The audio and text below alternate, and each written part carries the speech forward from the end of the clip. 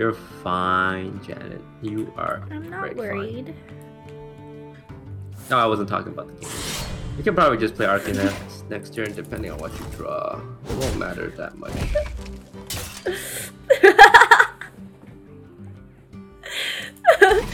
Jesus.